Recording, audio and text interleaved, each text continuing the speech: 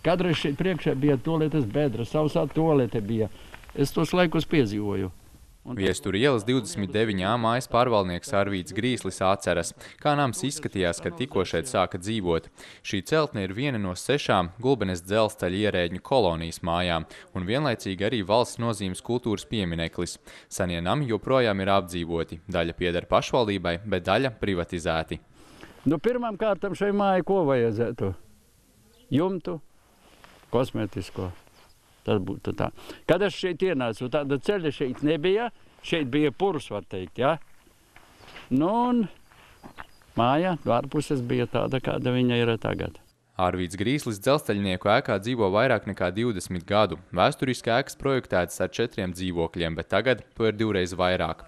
Nama pārvaldnieks skaidro, mājas un teritorijas labiekārtošana jāveic pašiem, jo jau sen atteikušies no pilsētas nama apsaimniekotāju uzraudzības. Taču ar saviem finansu līdzekļiem vien nepietiek. Mājai savu uzkrājumu fonda nav un vairākiem īrniekiem ir pat 1000 eiro liels parāds. Mēs jau paši to varētu ar to naudu viņam uzkrātos. Bet 3-4 dzīvokļi vēl kas atpakaļ, kuri nemaksā. Viestur ielā ap 1920. gadu netālu no dzelzceļa uzbūvētas sešas dzelzceļa ierēģņu kolonijas mājas. Tās projektējas tautas celtniecības speciālists, inženieris un arhitekts Pauls Kundziņš. Apceļojot dzimto zemi pētījis baznīcas, lauku mājas.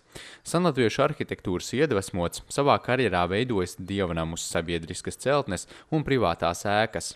Vēsturiski viņas bija domātas kā mazstāvu ēkas. Ne, ne, nav, ne, at, mai, maidelis ir tas, kas it kā to būvniecību plānoja. Un, un, un nebija domāts nekādas vairāk stāvēkas, mazstāvēkas. Un, uh, bija domāts, ka četri dzīvokļi vienā ēkā, ne vairāk kā četri. Un katram dzīvoklim bija paredzēts uh, 800 kvadrātmetru liels zemes gabals, plus vēl arī uh, piebūvējamās pie, nu, palīgēkas.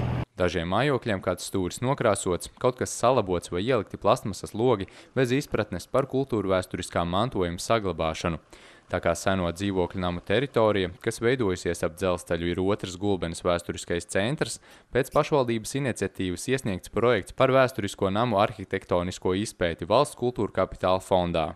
Situācija ar šīm ēkām ir nu, nav viennozīmīga, jo ir dalīts īpašums. Ir gan pašvaldībai piederoši dzīvokļi, gan privāti īpašnieki. Un šī situācijā, ko lemt ar ēkas fasādēm, ar logiem, ar atjaunošanas darbiem var uh, lemt tikai kopsapulce. Bet sākuma posms ir nu, valsts kultūra kapitāla fonda redzējums. Tā kā turis, turistiem interesē šīs tēkas, jo to mēs redzam ikdienā, turisma centrā, kad mums jautā pa, arī par viesturu ielu. Tas ir gan interesē gan pilsētai, gan arī mums, lai piesaistītu turistus aizvien vairāk. Dzīvojamās ēkas ir teju simts gadu vecas, un to izpētē noskaidros būvniecības vēsturi un fasādes apdares slāņus, lai izstrādātu rekomendācijas nama atjaunošanai un attīstībai.